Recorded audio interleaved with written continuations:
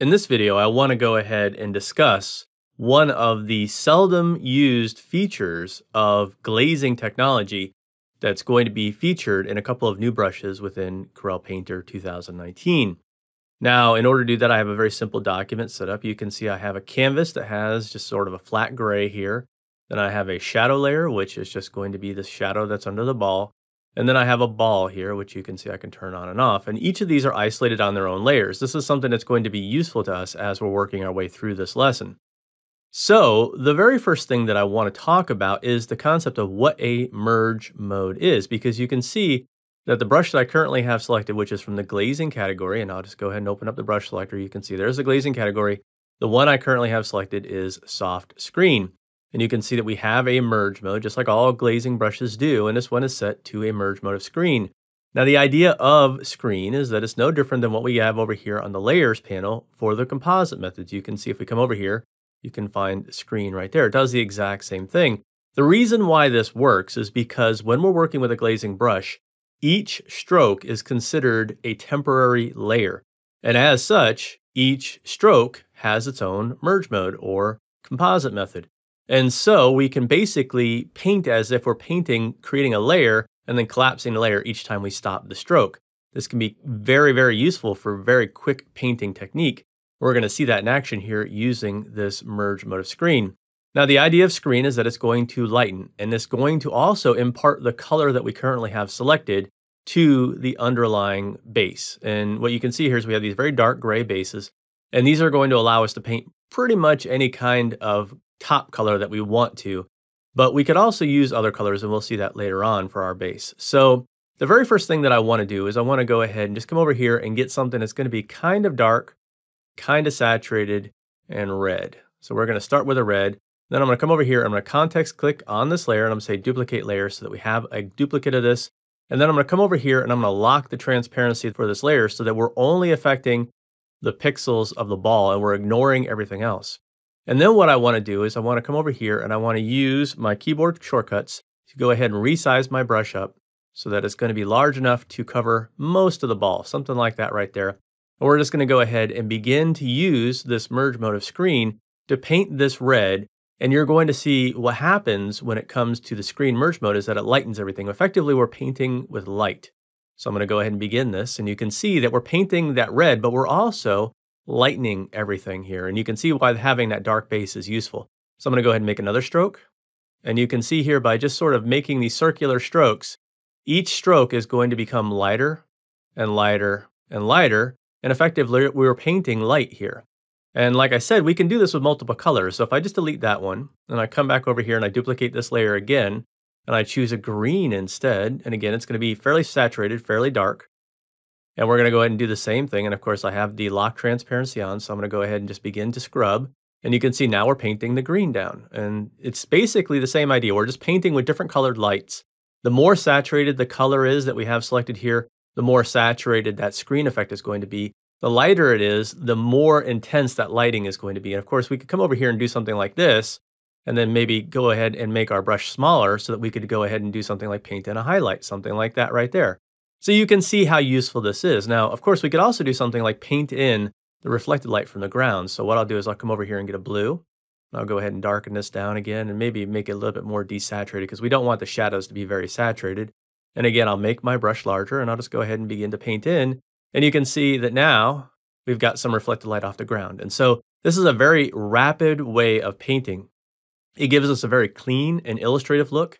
And it's something that can really, really speed up your workflow if you're working in a clean and illustrative style. Now, that said, I want to come over here and just delete this because I wanted to point out to you that if we come over here to this layer that I currently do not have visible, which has got a different color base on it, I want you to see what happens when we try painting the same color. So first I'll come over here and I'll do a red and I'll just go ahead and duplicate this so that we have a duplicate of that so we can come back to it. And I'm going to go ahead and get a red that's kind of saturated and maybe slightly more orange, something like that right there. I'm to go ahead and make sure that my brush is the right size. So that's very important when you're working with this technique is to get a good size brush. I'm to go ahead and just begin to scrub. And you can see that the red here gives us a very different look than what we had before on that dark blue base because now we have this dark brown base. And you can see that maybe that harmonizes a little bit better. if I come down here and I get something like that blue again, and I come in and I go ahead and paint in the reflected light, you can see that we're able to get that reflected light. And it has a different flavor to it because of the different base. So if I come over here and I trash that out, and I come over and I choose a green instead, like I did for the other, and I go ahead and do the same thing again, make the brush larger, and I go ahead and begin to scrub, you can see how the screen color is going to mix with the underlying base color. And so this is a sort of opacity controlled approach. And you definitely want to take that into consideration when you're working with this because, like I said, each and every stroke when we're working with these glazing brushes is going to be considered its own layer. Once we're done with the stroke, it's composited down. And like I say, you basically just keep doing this until you get precisely the effects that you want. And here, maybe I'll even go ahead and put in like a little white highlight, something like that right there, just to make that nice and shiny. So you can see having that base color, very important. Choosing the right screen color, very important. But this is a very rapid painting technique. So I'm just gonna go ahead and delete that. I also wanna talk about what happens when we use brushes that aren't smooth. So I'm gonna come over here and choose from the brush selector, the clouds screen. And this is going to be a similar type of idea, meaning that we have a screen merge mode. However, here we're using a capture dab. And so I'm going to come over here, I'm going to context click and duplicate that layer. I'm going to go ahead and choose a green, again, very dark and saturated. And I'm going to go ahead and make this brush a bit larger. Now, this brush has a different quality to it in the sense that what's going on here is that we're going to be getting a pressure sensitivity that's going to control the size. So it's going to give us a slightly different feel. But you can see that that textural element that's introduced by using a capture dab is very different from that smooth look that we were getting before, but the basic concept is exactly the same. So I can press harder. What's going to happen with this particular brush is that's going to increase the opacity as well as the size. So this is one of those things where different brushes are going to behave differently when you're using the different merge modes. But screen is a really, really useful one for painting in light. And again, I'm just going to go ahead and keep doing this. And I want to point out something to you. So you can see here that because we're working with this clouds screen that has this capture dab, we're getting a very hard edge here. And I'll even come over here and get something you know, like a closer to white. And you can see that we're able to paint in something like a granite look to that. And you could even come in here and get something like a blue and paint in some reflected light, something like so. And you could you could do the same types of things as what we did before. But there's another way that you can use this particular brush. So I'm going to go ahead and trash this layer out. I'm going to go ahead and duplicate this layer. And again, I'll choose a red this time so that we have a different color for the base. And I want to come over here and I want to turn on the pickup underline color. The reason why is because this particular brush has blending characteristics to it. And when we're working with a glazing brush, each stroke is considered to be its own layer. But if we turn on pick up underline color, what this allows us to do is to blend between the strokes. And in this way, we can get more interesting, softer feelings from our captured dab brushes. And you'll see what I mean in just one second. So I'm gonna come down here, maybe get it slightly darker, something like that right there. So I'm gonna go ahead and begin to paint.